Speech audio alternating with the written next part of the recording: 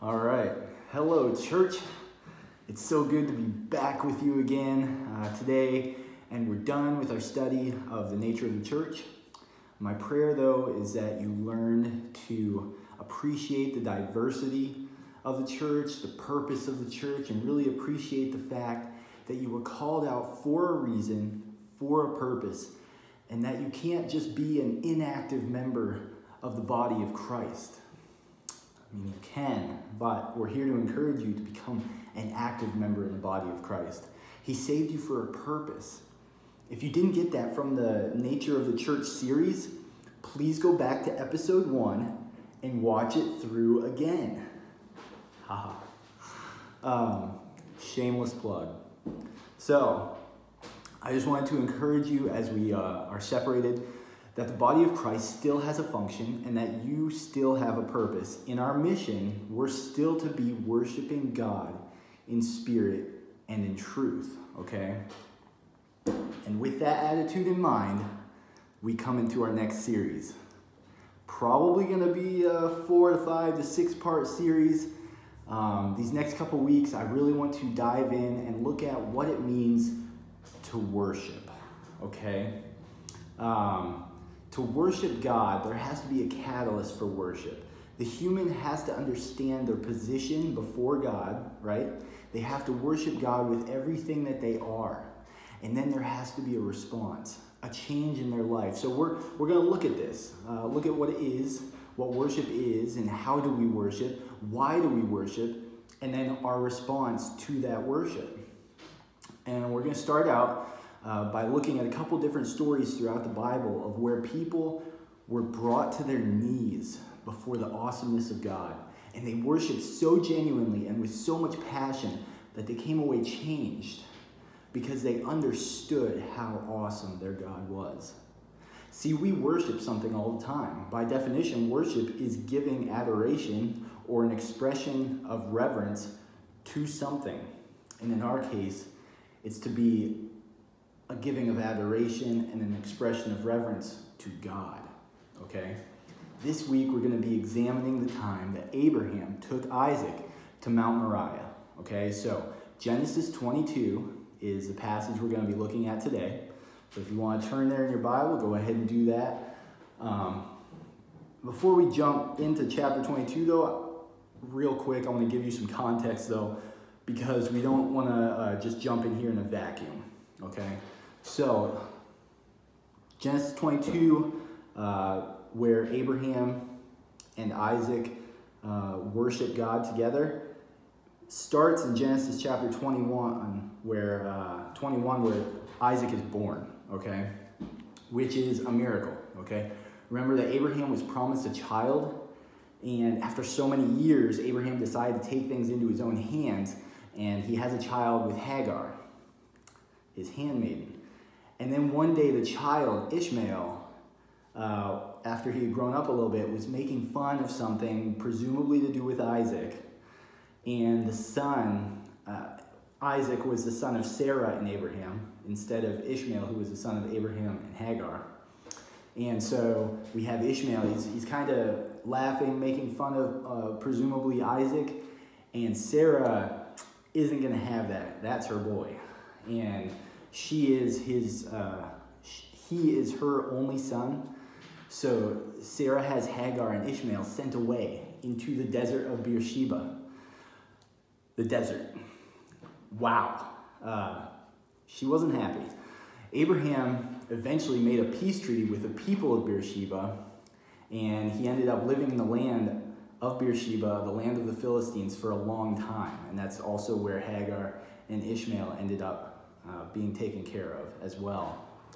So that's the context coming from chapter one. Isaac's born. There's a you know controversy here with between Ishmael and Isaac, and Sarah and Hagar, and then chapter 22 opens, and we're going to start reading in verse one. Okay, so Genesis 22 verse one. Now it came to pass after these things that we just talked about that God tested Abraham and said to him, Abraham. And he said, Here am I.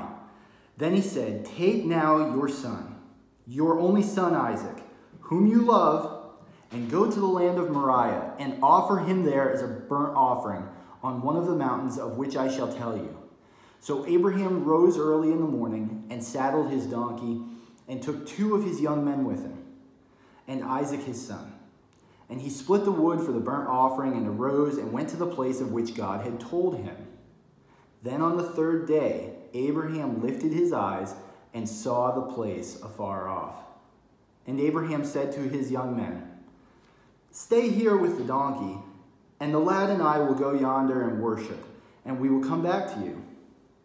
So Abraham took the wood of the burnt offering and laid it on his son Isaac. And he took the fire in his hand and a knife, and the two of them went together.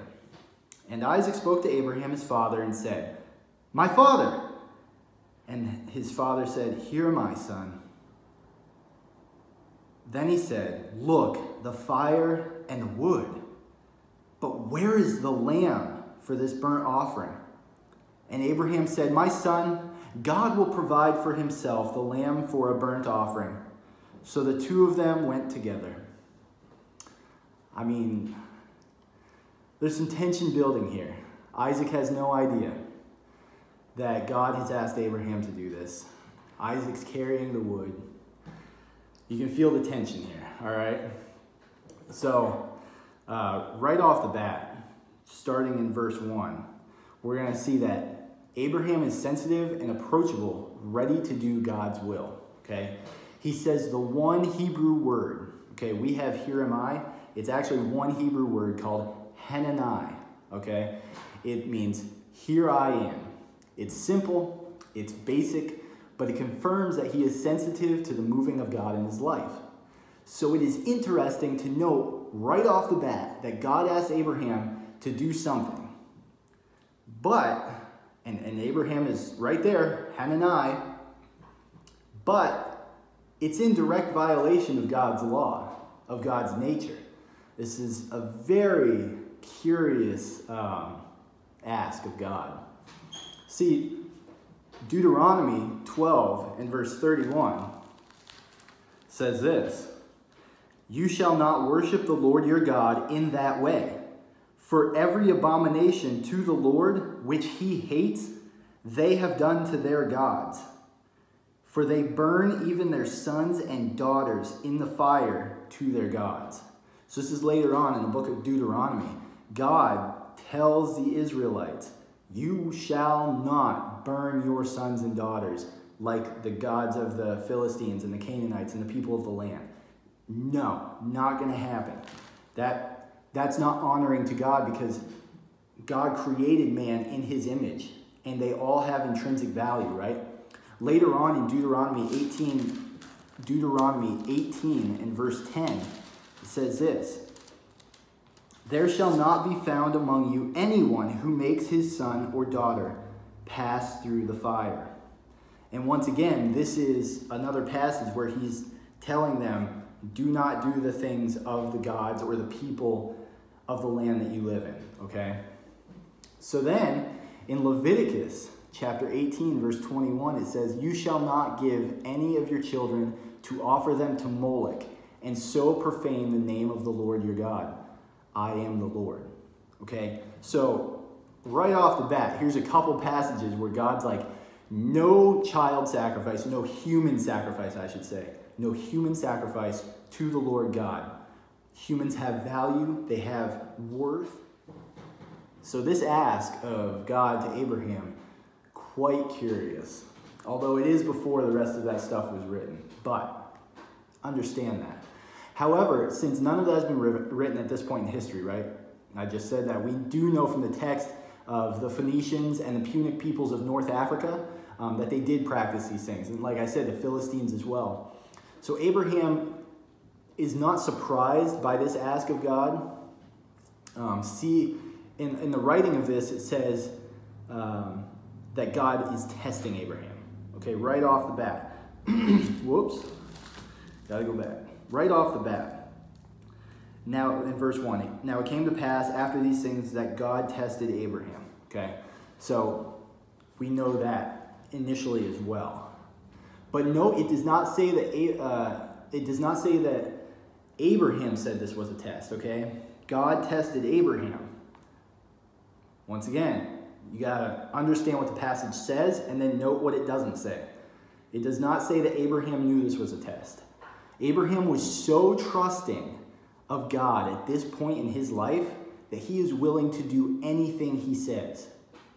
And you know, as a side note, before we come to uh, worship, uh, where are you at in your relationship with God, okay? We just saw that Abraham, he was so sensitive. He was willing to do anything God asked. Where are you at in your relationship with God? Are you humble? Uh, are you willing to do anything that he asks at any time? See, that's the first step of worship. Readily acknowledging God's place in your life. Being totally in submission to God. Nothing held back. Okay, see, as we look at this and we ask, how in the world could Abraham possibly sacrifice his son um, Isaac? We have to remember what God had promised Abraham in chapter 21 in verse 12. Okay, we talked a little bit about chapter 21, but we didn't really get into it, so I'll read it. Verse 12 says, But God said to Abraham, Do not let it be displeasing in your sight because of the lad, or because of your bondwoman, the Ishmael and Hagar. Whatever Sarah has said to you, listen to her voice, for in Isaac your seed shall be called. Yet I will also make a nation of the son of the bondwoman, because he is your seed. So the son of promise is Isaac. Now, Ishmael, because he is Abraham's son, is also going to be made a nation as well. But Isaac is the son of promise here. And this goes back even further in Genesis. Okay? God says, through Isaac, your offspring will be named.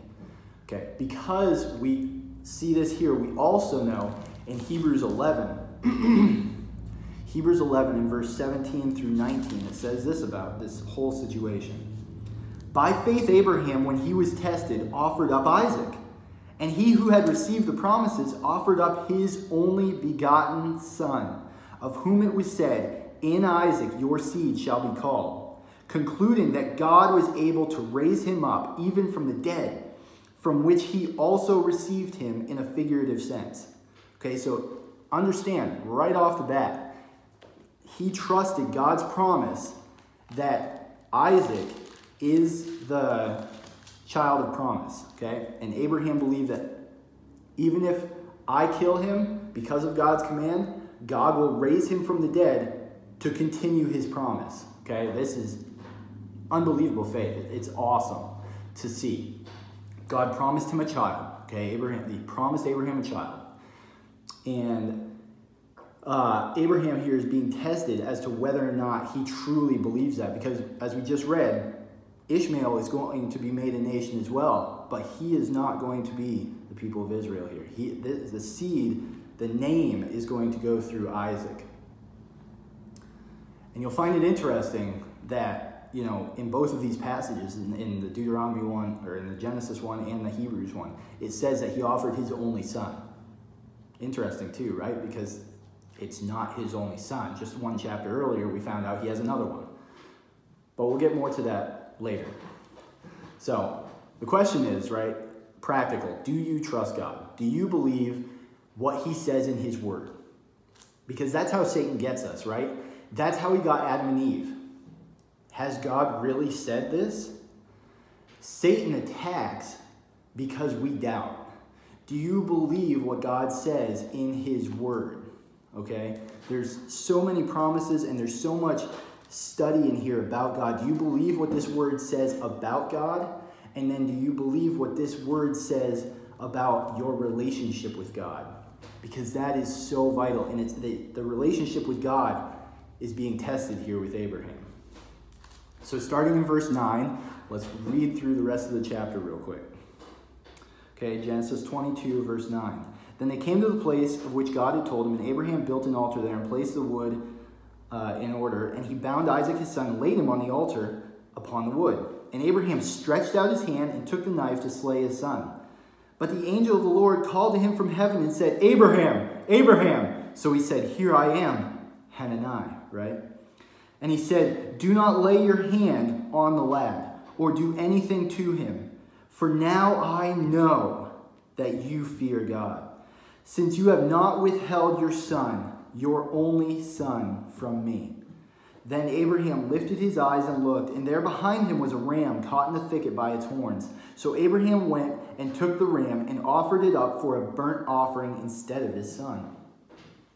And Abraham called the name of the place, The Lord will provide, Jehovah Jireh. As it is said to this day, In the mount of the Lord it shall be provided. Then the angel of the Lord called to Abraham a second time out of heaven and said, By myself I have sworn, says the Lord, because you have done this thing and have not withheld your son, your only son. Blessing I will bless you, and multiplying I will multiply your descendants as the stars in the heavens and as sand which is on the seashore, and your descendants shall possess the gate of their enemies. In your seed all the nations of the earth will be blessed, because you have obeyed my voice. So Abraham returned to his young men, and they arose and went together to Beersheba. And Abraham dwelt at Beersheba.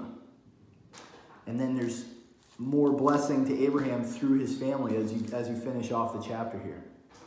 But you can see right off the bat, notice that they come after three days' travel, they come to the place that the Lord has uh, told them to go to. And they arrive in verse 9, okay? And he builds an altar, right? So they came to the place which God had told him. And Abraham built an altar there and placed the wood in order. And he bound his son Isaac and he laid him on the, on the altar upon the wood.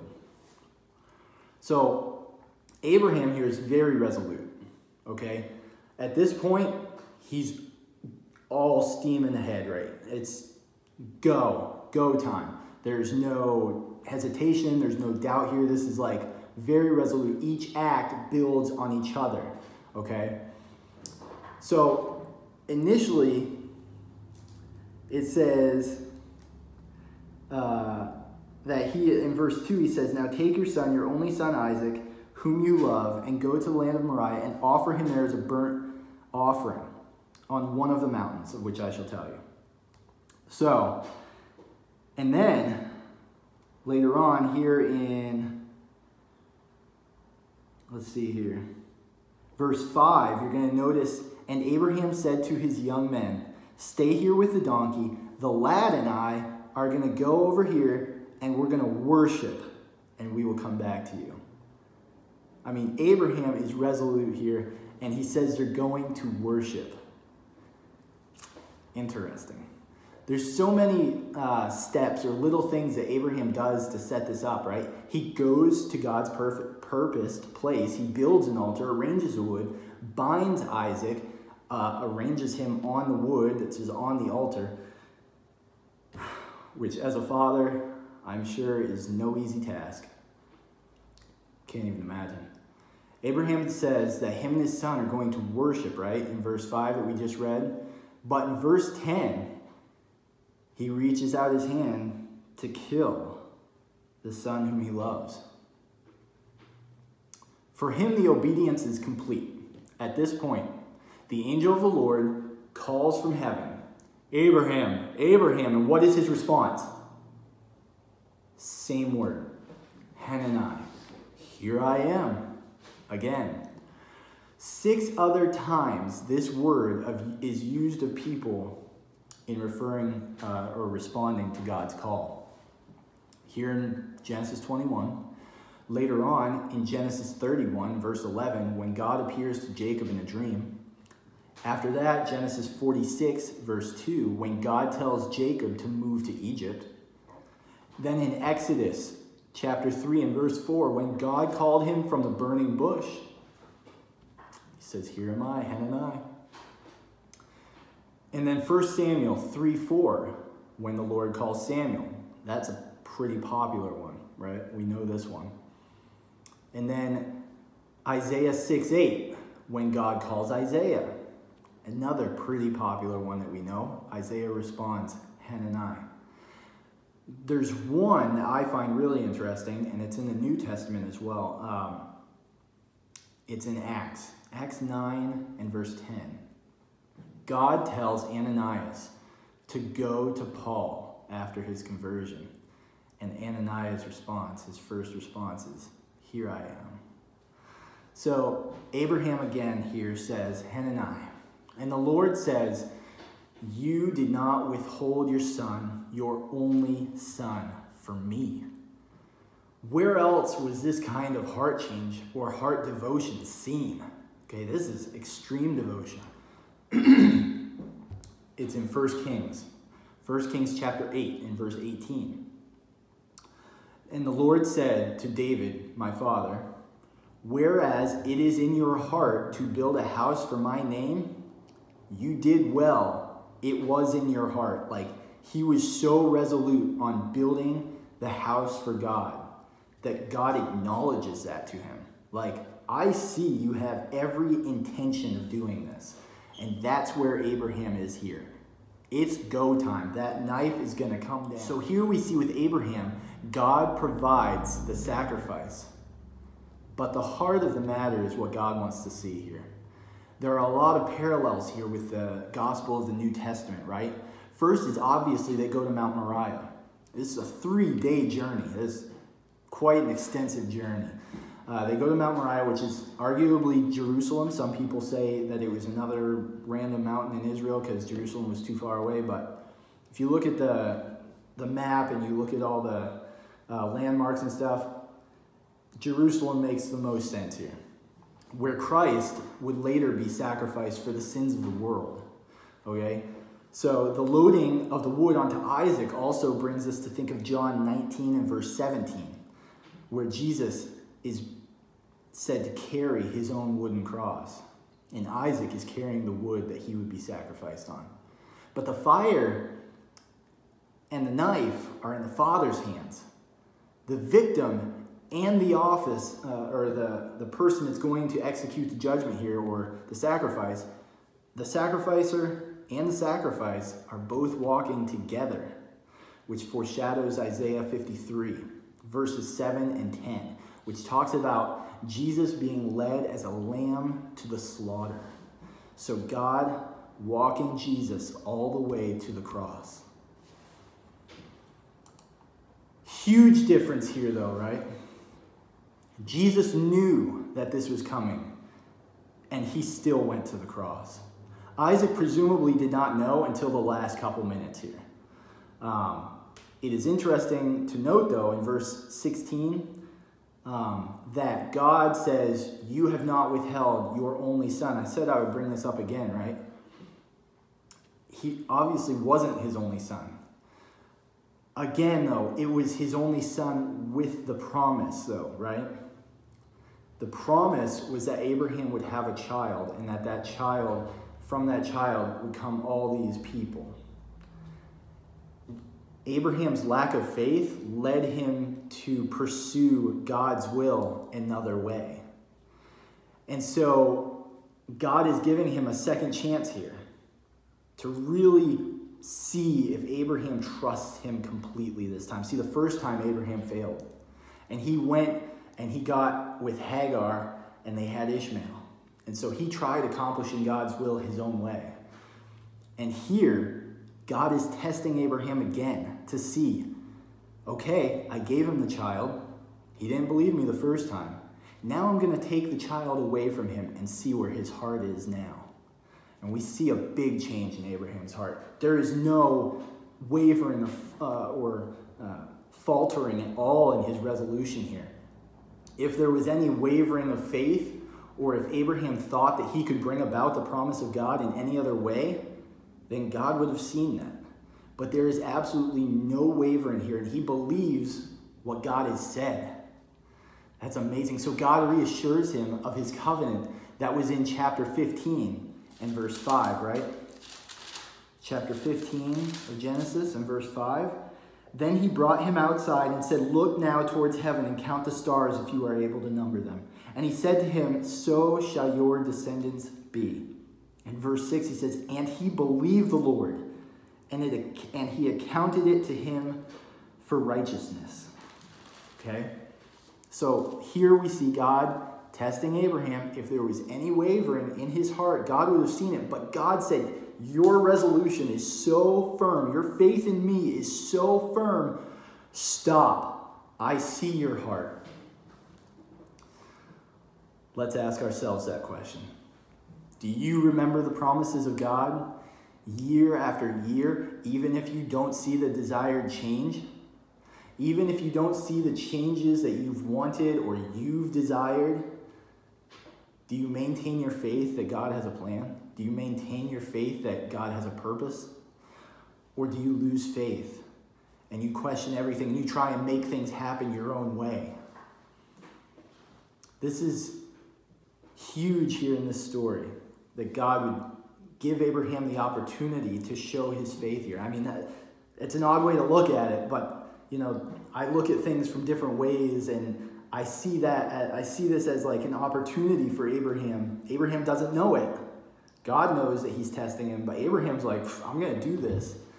So Abraham calls this place Jehovah Jireh because it means the Lord will provide. Okay? This word has a lot of meaning, provide, right? Do you believe that God will provide for you? Think of what God provided here. And once again, this is an awkward way to look at it, but an opportunity for faith, an opportunity for incredible failure, the chance to waver, an opportunity for assurance, an opportunity for God to shine. See, there's different ways to look at it, a positive and a negative way. What we believe is important. How we view God and His Word is important. And it should lead us to worship. Look at the faithfulness of God in your life, okay? Maybe there's times when you've had to sacrifice. Times of great faith are not often given during easy circumstances, right? Time to have great faith and great worship are often found in the fire. Think of, I, as soon as I say that, I think of Daniel and Shadrach, Meshach, and Abednego. Um, literally in the fire, in the struggle. And we say, but I don't like that. But that's how your faith grows how God proves himself faithful to you. See, he gave Abraham an opportunity here for Abraham to fail, but he gave him an opportunity to see the faithfulness of God. God will provide. He learned incredibly, uh, incredible amounts through this. So, providing uh, reminders that we are to worship God alone and not the creation, right? This is, this is built into this story. When you're going through times of struggle, worship. When you're going through times of great joy, worship. Think of His Word, read His Word, and pray. Say thank you. Say, I love you, God. Say, you are so good. And then maybe the hard times, right? We say, I need you. We always need him though, right? Sometimes we forget that until we're put in those hard situations. So, is God testing you today? So, in conclusion, beginning today, I said we would look at what is worship. At the very beginning of this, I said we're going to be looking at what is worship, and we're going to go through a couple different stories in the Bible to see this, where they, where they worship. See, Abraham told his two servants that went with him, Look, me and Isaac, even though God told him, You're going to go to this mountain and sacrifice your only son that you love, Abraham said, Me and Isaac are going to worship. Because Abraham's faith, that we know from Hebrews 11, is so strong that he knows Isaac is coming back from the dead, even if he kills him. So it's an opportunity to worship. A three day journey to go worship. I, look at that and I'm like, oh, it's kind of weird. But God led him there. Why so far away? He could have done it, you know, because it's a foreshadowing. And you can see that later on. It's called progressive revelation, where we see in part in the Old Testament. I mean, we're, what, 16 pages into the Bible. But by the time we get to the end, we can see why. It's foreshadowing the sacrifice of Christ for the sins of the whole world. His and Isaac's worship was going to be setting up an altar and sacrificing to God. When we worship today, we should be setting aside time, maybe even a place, where we come before God and we make a sacrifice.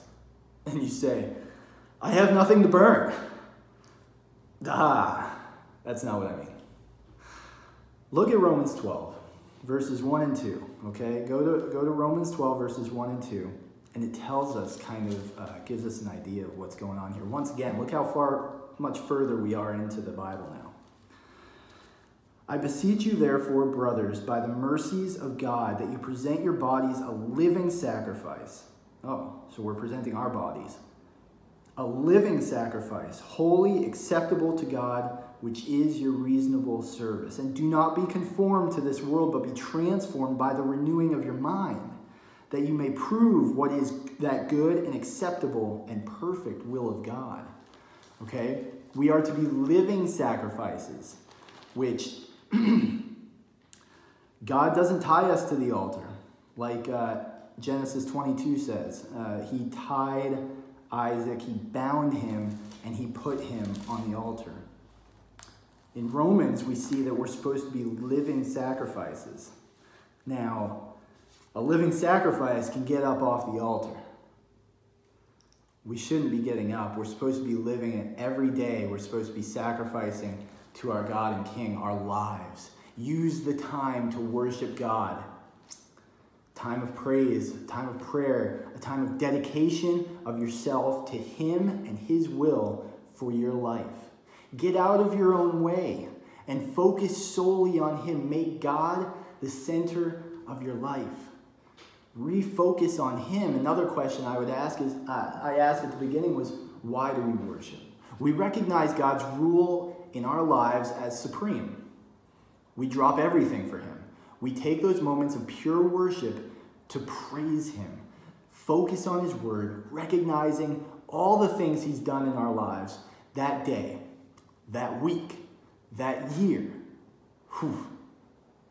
It's been a rough year. Okay, I'll give you that. What about today? What has God done for you today? And what is your response to what He has done? The worst thing you can do as a child of His is to ignore what He has done. I think of my own children and uh, the times when I don't see the recognition of what we as parents do for them, right? Uh, or the times when they do recognize it, and that's really special, okay? The worst thing that you can do as a follower of Christ is to ignore what Christ did for you or what Christ is doing for you every day. That's the worst thing we can do. You cannot do this to God as a worshiper and follower of Christ. And I say you cannot. You should not, right? We worship because daily, hourly, we receive blessings from Him. This year looks crazy. I'll be perfectly honest. This is an insane year. But don't look at that. How about the last hour? The last day. He has done great things, and we can worship him because of his mercy and grace given to us daily. Why did Abraham and Isaac worship? Because they were open to God's moving in their life and they acted upon it. And then, lastly, what is our response to the worship? Abraham's response was to make a name of the place so that he would remember it. We are never told whether or not he actually ever went back to Mount Moriah to recount the great thing that God did that day. I mean, I'm going to go out on a limb and say he probably did. But think about Isaac. Isaac must have lived in light of that moment for the rest of his life. It had to make a huge impact on the rest of his life. The time his father almost killed him, but God provided. See, those times in our life where God causes us to realize we are not in control, those times in our life where we sacrifice ourselves, when we become a living sacrifice for Him, those are the times in our life that should cause us to worship.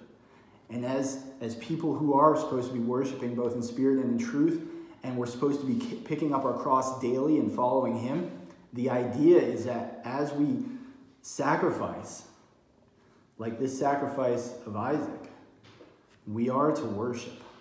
See, Abraham remembered the promise of God, and therefore he was faithful and he went to Mount Moriah. Our response to worship then could simply be writing down the great things that God has done for us. Do it in a journal. Um, do it in your phone, in your phone notes. I talk to my phone all the time. My notes, I could write books off of. It could be, um, as I saw a professor in college, uh, be perfectly honest, he's, he was actually my golf coach too. And what he would do in his house is he had little scriptures that he would print out and he put them all over the house. Like I was shocked when I went over to their house to see these things because they were a reminder everywhere he went in the house of a verse that reminded him of a time that he worshiped God or a time when God moved in a miraculous way and so he could then worship now. You know, there's there's all kinds of things that we can do, but he would leave them in specific places and you can do this too. It's pretty it's pretty simple if you have, you know, you can put reminders on your phone, you could write things down. I like to personally I want to my idea is I want to print them out as well, put the verses on paper and put them around the house. And, and hopefully uh, my kids will pick up on that as well because, you know, we're trying to teach the next generation, right? And I'm sure Isaac learned a lot from this situation as well, not just Abraham. We forget so easily, and so that's what I'm, I'm hoping uh, to push you to do is to remember. So I hope you're moved to worship this week, okay? I pray that you are encouraged by the story of God's faithfulness to Abraham and that it moves you to do something to build in reminders into your life, which brings me to my questions for the week. Print these out, print out these questions of the week. Uh, write them down as reminders in your house this week, okay?